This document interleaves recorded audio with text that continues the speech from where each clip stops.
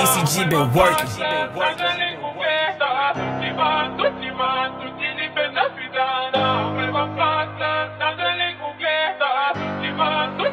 Young Casey ballin' with it.